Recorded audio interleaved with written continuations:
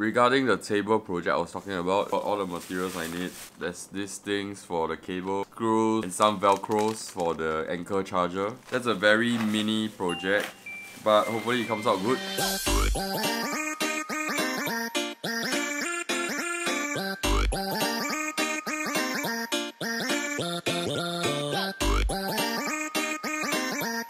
Something amazing just happened when I'm having class. Uh, remember the Anker charger I was talking about? I posted a photo on Instagram tagging them, Anker, and they actually replied to me and they actually said that um, whether they can use that photo, post it on their Instagram. Yeah, okay, cool. And they said that if let's say I hashtag them, I might have a chance to win one of their $50 worth of Anker gear. I don't know. So yeah, wish me luck. It was a very cool news. Even without winning, it's pretty cool because Anker actually listens to their customer, actually take note of their Instagram account and stuff like that. So yeah, good job Anker. I'm gonna have dinner and I'm gonna go home and go to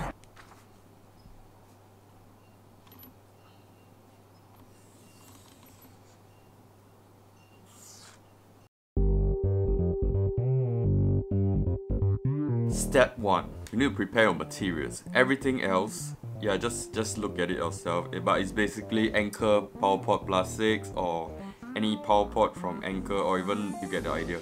Uh, you need a soap bar extension, not charger, soap bar extension and a bunch of screws, no, two times screw, velcro and you need screw. Step 2. Print setup and velcro. Yeah, I, I forgot to add that in. Uh, photocopy the underside of the soap bar as such paste. Paste velcro on Anker. Step 3. Screw and stick stuff like stick under the paper, under the table thing. Yeah, aim and screw and yeah, you screw wrongly, we screw again. Stick Anker underside of the table also. And don't forget to stick your cables underside like the huge soap bar extension. Yeah, stick it underneath so that your cable will be better managed. And last step is attach everything. It's just a simple night charging station that you can build yourself to make sure that um, your cables are managed properly. I know it's a very crude design right now, but I'm planning to upgrade it soon after I think of an idea.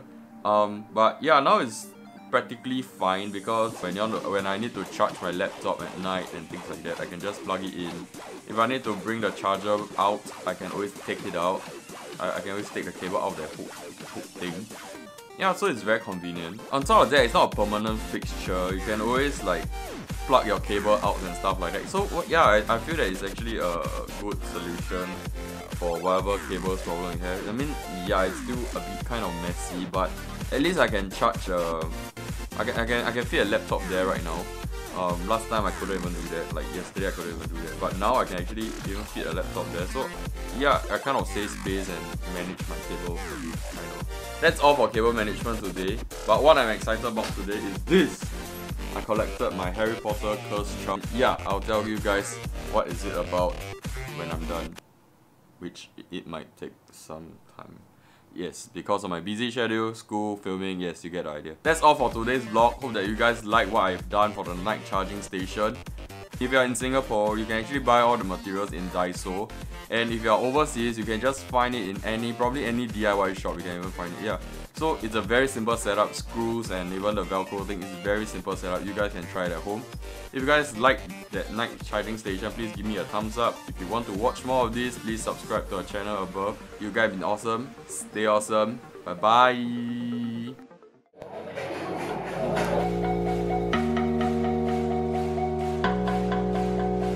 Actually, I want to like stand on it, then I realized, oh shit. Can you, can you stop the thing? Oh my goodness. Oh my goodness, someone called a comic strip here.